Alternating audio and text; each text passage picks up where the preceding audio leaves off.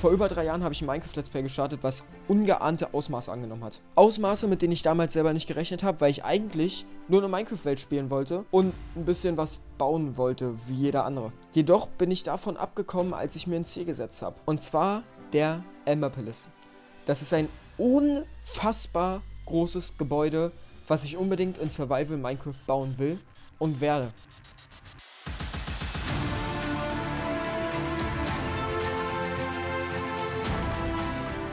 Leider bin ich in über 230 Folgen dieses Minecraft Let's Plays in über drei Jahren Zeitspanne von dem Konzept weggekommen, dieses Haus wirklich zu bauen. Ich habe begonnen, Farm zu bauen, Farm zu bauen und noch mehr Farm zu bauen, die mir am Ende den Stuff geben, den ich für dieses Haus brauche. Mit dem Ziel im Prinzip den gesamten Stuff ranzuholen und mit einmal das Haus zu bauen. So funktioniert es aber nicht. Und jetzt habe ich sechs Monate Pause gehabt, habe sechs Monate das Minecraft-Projekt nicht mehr gespielt und werde nun in Staffel 2 einige Änderungen treffen. Gleicher Spielstand, gleiche Welt, anderes Videokonzept, anderes Mindset. Das bedeutet, wir werden uns in Staffel 2 nicht mehr darauf fokussieren, Farm zu bauen und unfassbar viel Stuff ranzubekommen, sondern wir haben unendlich viel Stuff auf der Welt, auf der wir spielen. Bedeutet, es wird nur noch darum gehen, zu bauen. Zu bauen, zu bauen, zu bauen. Den Emma Palace zu verwirklichen, ein Skyline-Projekt zu verwirklichen, was danach schon immer mein Plan war und was verwirklicht wird und den Stuff, den wir in über 230 Folgen, in zweieinhalb Jahren Minecraft erfarmt haben, diesen Stuff zu verbrauchen. Jetzt geht's erstmal ran, nach über sechs Monaten, die ich nicht gespielt habe, müssen wir mein Spiel updaten, sowie die Welt updaten. Das sind alles, oder läuft alles momentan auf veralteten Versionen. Genau darum kümmere ich mich heute. Let's go. Staffel 2 von Minecraft Let's Play startet genau jetzt. Wir upgraden die Welt heute auf die 1.19.3 von der 1.18.1.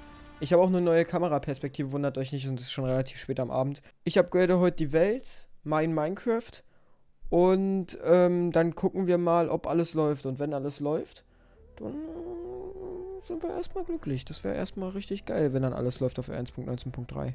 Ab jetzt will ich auch in der Beschreibung immer alle Mods verlinken. Also alle Mods äh, mit Fabric Loader und Co. findet ihr alles unten in der Beschreibung. Falls sich das jemand äh, nachkopieren will oder was weiß ich, müsst ihr nur reingucken und dann ist es alles easy. Also ich habe hier jetzt gerade irgendein Problem. Ich weiß nicht genau welches. Diese Fehlermeldung wird angezeigt. Ich denke mal, das hat mit dem Mods hier zu tun.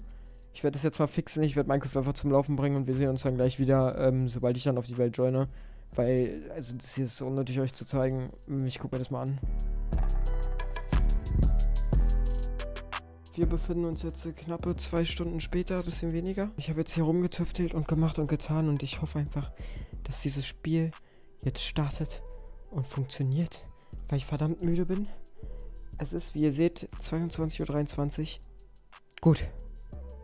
Das ist schon mal wichtig. Options, alles da, Singleplayer, Welten sind da, zwar alle auf 1.18, aber alle vorhanden. Replay-Mod ist da, Mods sind alle da. Morgen werde ich, wenn ich von Arbeit komme, direkt mal hier die Welt mit euch zusammen updaten und dann gucken wir mal, ob hier alles läuft auf der 1.19.3. Vorher werden dicke Backup-Saves gemacht und alles vorbereitet. Ich würde sagen, wir sehen uns dann wieder. Bis gleich, besser gesagt. Pum! Da bin ich. An einem neuen Tag, eher noch an einem neuen Morgen. Und äh, wir gucken uns jetzt hier mal an. Ich muss erstmal, Digga, als allererstes erstmal Deutsch einstellen. Zukünftig habe ich mir auch schon überlegt, werde ich diese ganzen Aktualisierungen von allem ähm, nicht mehr in einem Video machen oder so, sondern werde ich euch nur in den einzelnen Steps mitnehmen, sagen, ey, ich habe jetzt äh, die Mods runtergeladen, habe jetzt das Game aktualisiert und die Welt aktualisiert und jetzt starten wir. Ähm, weil das hier finde ich ein bisschen doof, muss ich sagen. So, dann Lukial Zoom. Kann ich auch in. Komme ich auch nirgendwo rein? Äh, beste Leben, warte mal ganz kurz. Okay. Wir gehen mit der Version runter von der 1. Ähm, von der 1.19.3 gehen wir jetzt auf die 1.19.2. Ich installiere jetzt alle Mods neu, weil manche Mods gibt es noch nicht in der 1.19.3 und die brauche ich, damit ich überhaupt die ganzen Einstellungen machen kann, die ich machen muss. Also ich bin jetzt in der 1.19.2 und äh, ich weiß, was ich tue und alle Mods laufen.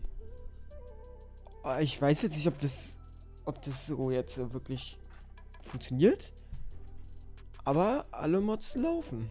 Ich stelle einfach mal weiter ein. Kann wie gesagt sein, dass wir hier nochmal Vanilla Tweaks neu. Also ich kann oder wird sein, dass wir das nochmal neu machen müssen. Ähm, aber sonst sieht es sehr gut aus. So. wir sind fertig. Ich habe es geschafft. Es sind jetzt äh, alle Einstellungen ordentlich. Der Himmel ist gefixt, auch bei 1600, also auch bei Nacht. Sonst haben wir soweit alles durch. Die Minecraft-Settings sind alle fertig. Alles ist gut, alles ist super. Ich habe jetzt gerade 18 geladene Chunks, wenn ich mich nicht irre. Und wir haben 400 FPS. Durch die ganzen Mods und durch halt alles, was hier im Hintergrund abläuft. Damit kann ich jetzt auf die Welten joinen und alle Welten anfangen abzudaten. Beziehungsweise, was heißt updaten im Prinzip. ist das Einzige, was ich jetzt mache, die Welten als Sicherheitskopie zu speichern. Und nach der Sicherheitskopie werde ich dann halt raufjoinen und gucken, ob alles gut ist oder nicht. Und wenn halt was nicht gut ist, dann wird es kompliziert. Das werden wir uns jetzt gleich mal angucken. Ich werde jetzt trotzdem nochmal diese zwei wichtigsten Welten, also die beiden hier, werde ich jetzt nochmal extern speichern. Ne, sogar die drei Welten werde ich nochmal extern speichern. Also auf einem Stick, auf einen Stick ziehen. Und der Rest ist eigentlich eher so ja, wenn es jetzt nicht ordentlich aktualisieren würde, wäre ich jetzt auch nicht, oder wäre es nicht schade drum. Trotzdem werde ich ein paar Sicherheitskopien kurz machen. Sicherheitssaves sind erstellt. Ich würde sagen, wir joinen einfach mal. Ah, frag dich mal nach Sicherheitssafe, Digga. Beste Welt, äh, beste Leben. Ja, das hier, also das hier ist mit einer der wichtigsten Vorbereitungswelten. Ich spiele jetzt äh, Minecraft seit fünfeinhalb Jahren und habe in den fünfeinhalb Jahren alle Wolkenkratzer, die ich irgendwo mal gesehen habe, ähm, entweder runtergeladen und oder ähm, auf Servern gefragt, ob ich mir die auf eine private Welt ziehen darf. Und habe die hier gespeichert, um irgendwann alle Buildings zusammenzubringen. Das wäre echt geil. Das ist ja das so bekannte Skyline-Projekt. Also hiermit irgendwann anzufangen, wäre echt ein Dream-Projekt. Wir haben dafür schon einen Spot gefunden, wo diese Skyline erschaffen werden könnte. Aber halt First Step ist der Ember Palace und halt das Lagersystem. Und ohne das brauche ich so ein Projekt gar nicht anfangen, weil ohne ein Lagersystem mit so einen Massen an Blöcken zu hantieren, ist relativ sinnfrei. Gehen wir erstmal auf die Testing World. So, die Welt funktioniert auch. Dann werden wir jetzt mal auf die Hauptwelt joinen, wa? Bauwelt. Jetzt wird spannend. Ja, sieht aber gut aus. Ist das geil.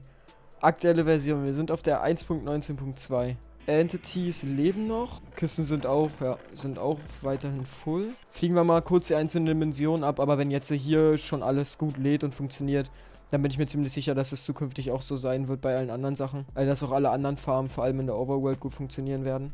Ich habe so Bock, wenn ich das sehe, habe ich so Bock einfach zu zocken. Gehen wir mal Nether. Ja, funktioniert auch einwandfrei. Kisten werden geladen, Farm wird geladen. So. Ja, Emma Pilz wird auch geladen. Der Hauptumschlagspot der nächsten Wochen. Aber irgendwie habe ich das ganze Game ein bisschen unflüssiger in Erinnerung. Oder unschärfer? Als wäre es nicht so clean gewesen damals. Aber irgendwie ist es ist geil, Digga. Oh. Ja, wird auch alles geladen, funktioniert auch alles einwandfrei, ohne irgendwelche Probleme. ich weiß gar nicht, was, was will ich denn noch? Also, was, was will ich mit so viel Eisen anfangen? Was, was, was will ich damit bauen, Digga? Ähm, ich weiß nicht, ob, ob manche es wissen oder manche sich noch daran erinnern, aber in Staffel 1 hatte ich immer das Problem, also seit Beginn des Projekts, seit drei Jahren, hatte ich das Problem, dass ich hier über irgendeine Chunkgrenze gelaufen bin und sobald ich diese Chunkgrenze überquert habe, hat es ein kurzes Standbild gegeben, immer. Und du konntest nichts dagegen machen, weil es ein Weltfehler war. Woher auch immer dieser Weltfehler kam. Und jetzt laufe ich hier lang und dieser Weltfehler ist weg. Ich, es gibt hier nicht mehr diesen massiven, normalen Standardruckler, den ich sonst immer hatte. Sondern ich kann hier einfach durchgehen. Boah, ist das geil. Dann funktioniert technisch soweit erstmal alles. Die Welt ist geupdatet. Mein Minecraft läuft auf der 1.19.2. Ich werde jetzt nochmal ein paar Vorbereitungen für den Stream machen.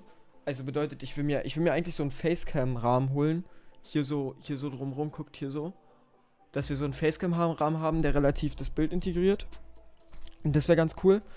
Und dann sehen wir uns entweder im Stream und oder im nächsten Video wieder und legen dann mal richtig los mit dem Bau, mit den Plänen, die ich für jetzt anstrebe, was ich, was ich so schaffen möchte. Und äh, ja, dann geht's los mit dem Amber Palace. Ich hoffe, wir sehen uns beim nächsten Mal wieder. Bis dahin. Ciao, ciao, Jungs.